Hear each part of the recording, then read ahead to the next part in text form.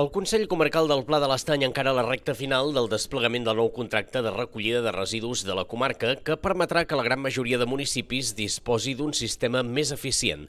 Aquest mes de setembre passat ja s'han posat en marxa les àrees tancades de Palol de Revardit i la previsió és que a finals d'octubre ho estiguin les de Cornellà del Terri. El passat 15 de setembre es van tancar les àrees de Palol i s'hi van instal·lar els contenidors amb identificació per a les fraccions de rebuig i orgànica. La posada en marxa d'aquestes àrees es va fer després de les sessions informatives als veïns i veïnes del municipi, que van assolir una molt bona xifra d'assistència.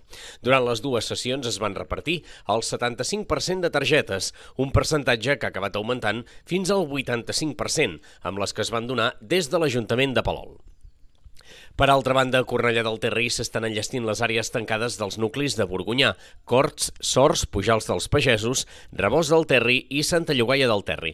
La previsió és que totes aquestes instal·lacions entrin en funcionament l'última setmana del mes d'octubre. En aquest context, les sessions informatives i el repartiment de targetes es duran a terme els dies 20 i 21 d'octubre.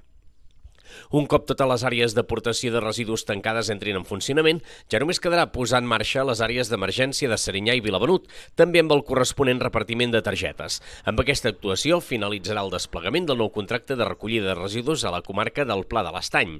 El nou sistema, implantat a la majoria de municipis de la comarca, permetrà assolir els percentatges de recollida selectiva marcats per la Unió Europea i també reduir l'entrada de tones a l'abocador. Un altre aspecte rellevant d'aquest canvi de model és que a mitjà termini es podrà individualitzar la taxa de recollida que paguen els veïns i veïnes per tal que aquesta sigui el més justa possible en funció de la participació en el servei de recollida.